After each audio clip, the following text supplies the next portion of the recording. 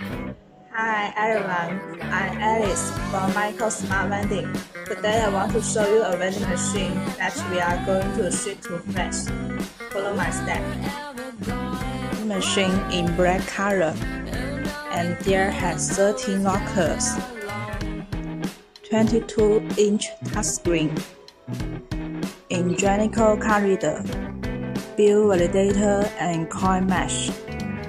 Can you guess what is used to sell? SCC show you how it works.